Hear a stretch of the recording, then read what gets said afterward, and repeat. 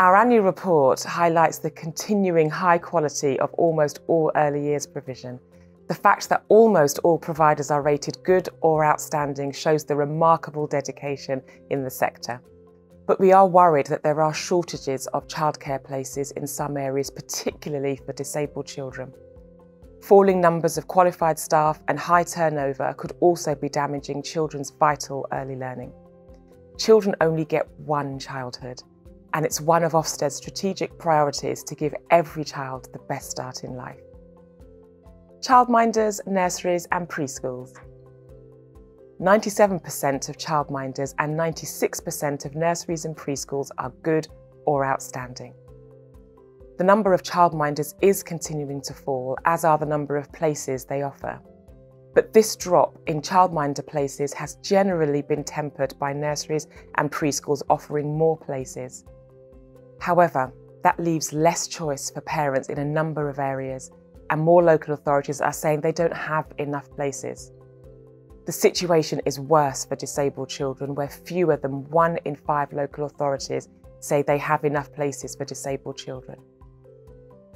Workforce pressures. The growing shortage of qualified staff is concerning. This year, over a fifth of staff are unqualified compared with one in seven five years ago. This can affect the quality of a child's learning.